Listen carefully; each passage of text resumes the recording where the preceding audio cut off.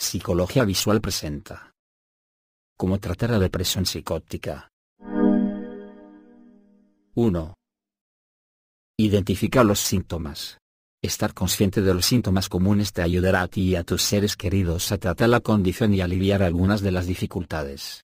Algunos de los síntomas y condiciones que se asocian con la depresión psicótica son alteración del sueño, disminución del apetito, Ideas suicidas. Agitación e ira. Alucinación o delirios.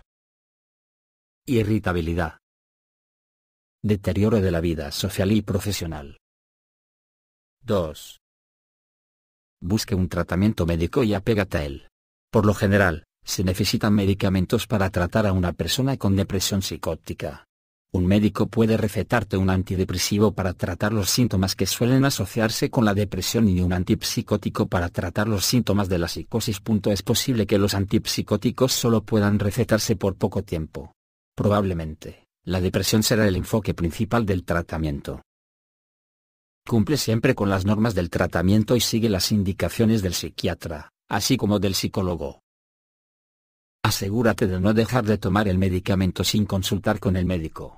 Si dejas de tomar los medicamentos de forma repentina, puede ser peligroso y puede provocar una recaída. 3. Consulta con el médico sobre la terapia electroconvulsiva TEI. La depresión psicótica es uno de los pocos trastornos que pueden tratarse con TEC. El tratamiento consiste en pasar corrientes eléctricas a través del cerebro, lo que provoca convulsiones breves que cambian la química cerebral. Aunque las prácticas actuales de TEC son relativamente seguras, asegúrate consultar con el médico sobre los efectos secundarios posibles. 4. Busca la mejor intervención terapéutica para ti. Suelen recomendarse las terapias de conversación junto con los tratamientos médicos. El médico o terapeuta podrá ayudarte a encontrar las mejores opciones de tratamiento para tus necesidades. La terapia cognitivo-conductual puede ayudar a identificar los pensamientos y comportamientos problemáticos y sustituirlos por unos funcionales.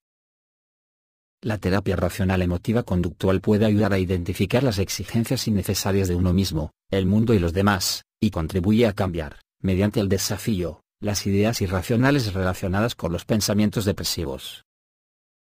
5. Desarrolla rutinas diarias. Las rutinas regulares asegurarán el cumplimiento del tratamiento y cambiarán tu enfoque hacia otras actividades funcionales. Seguir rutinas regulares puede ayudarte a aliviar los síntomas depresivos agregándoles estructura a tus días. Programa tu día, en el cual incluyas arreglo personal, comer y dormir, además de las actividades regulares programadas, como el trabajo o las citas.